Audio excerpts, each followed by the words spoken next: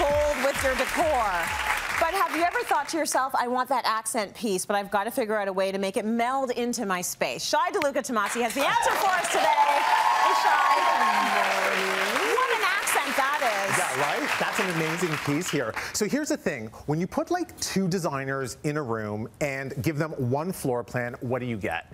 A million different variations on the same thing because, you know, we think so many different things, but the one thing that we all agree on yeah. is that every space has to have a focal point. That's true. And in order to have a focal point, the easiest way to do that is to have a great accent piece. Mm -hmm. Now, what is an accent piece? Because, you know, before the show, I was talking to some people getting, what do you think an accent piece is? There's two kind of definitions of it. People will think okay. accent piece, is it a small thing that I put into a room to accent something else? Or what people think of as an accent wall, perhaps like a pop of color on a wall or something like that. So what we're gonna do, and we're gonna jump off using an accent piece as more of a statement piece. Okay. So. You know what, this is a statement, but so is your jacket. Okay. I just have to say.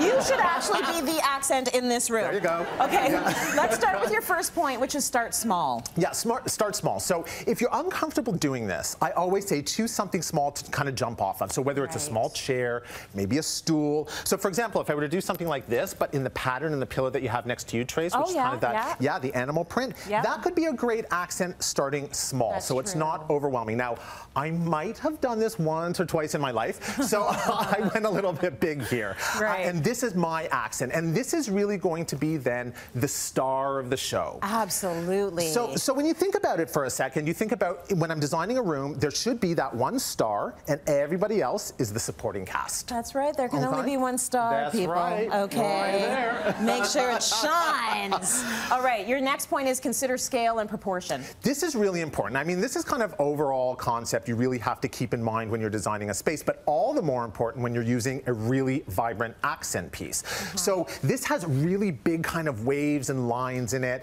So we want to make sure that the other supporting pieces that are in the room are not taking away from it, but really playing to it. Mm -hmm. So how have we done that here? The first thing that you might think an accent piece needs to be is a bold pop of color. But instead of pop of color here, we're using the texture and the pattern and the artwork to really be the accent. And then everything else here works with it, but isn't really meeked by it. And what do I mean by that?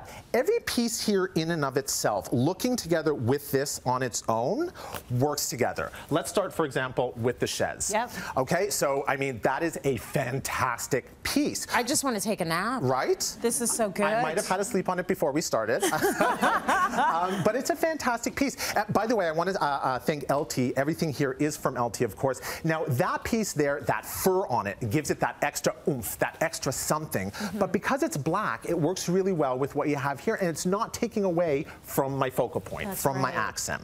Okay, nothing else is either because you've almost pulled all the colors from your your accent and you're you're going along with that with the rest of well, your Well, you got it, and I mean pieces. it's in a, in a, couple different ways. I mean, even if you look at this beautiful I coffee know, I table, love that. isn't that great? So it has that like bone detail yeah, in it.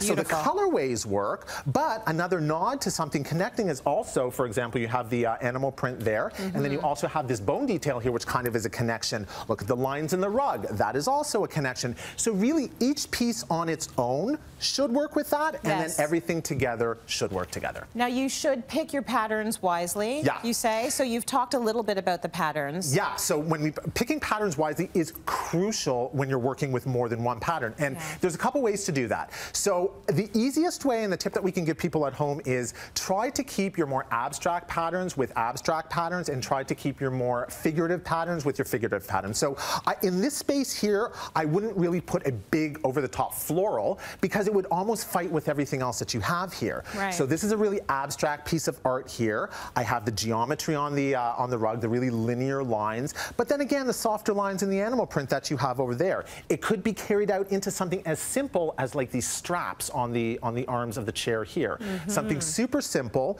but it all again works together. It all works together.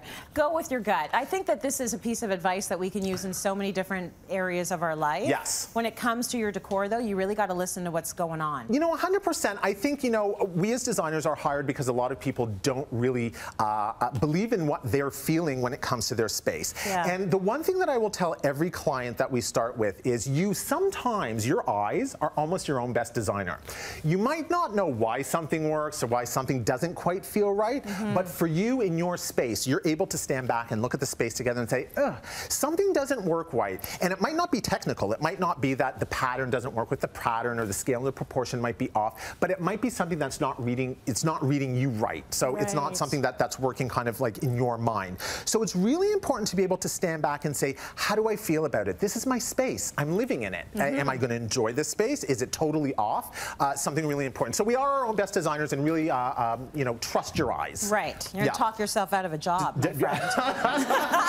Just trust yourself. Anyway, don't worry. You don't need a designer. Yeah, exactly. So yeah, so so that was really important. So so those are the four tips. If you get that done, and like I say, start small at the beginning, mm -hmm. you're going to be a pro in no time.